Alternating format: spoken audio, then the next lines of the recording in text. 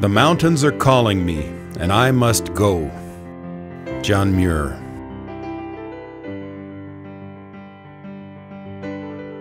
Ye gods, Mr. MacCarthy, just look at that.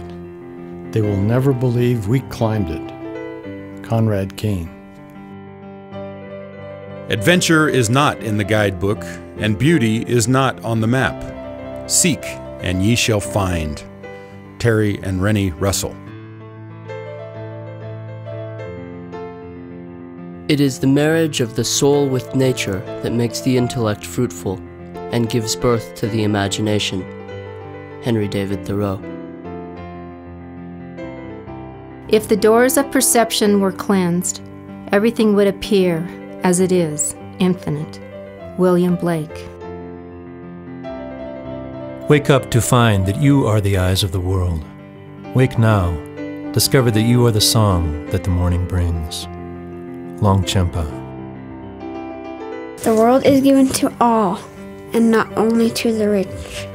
St. Ambrose.